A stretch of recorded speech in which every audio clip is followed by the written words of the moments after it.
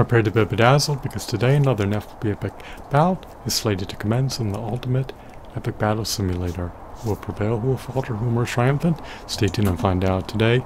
Mario and Sonic are pitted up against 300 Tyrannosaurus Rexes. The T-Rexes render Mario and Sonic decedents, carcasses, and cadavers, lamentably, which may dismay, which may chagrin, which may consternation, which may grief, which may agony, which may agitation, which may irritation. Mario and Sonic the Hedgehog and rendered decedents. They got brutalized, mutilated, martyred, ravaged, decimated, and eradicated. The groveling of the Tyrannosaurus rexes.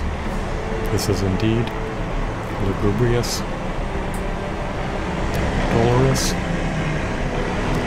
woefully pensive moment.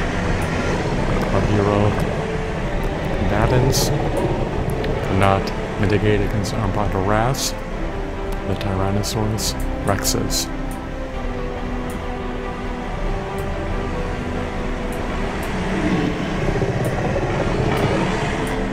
It's too bad that this outcome transpired, but it is what it is. Thanks for watching.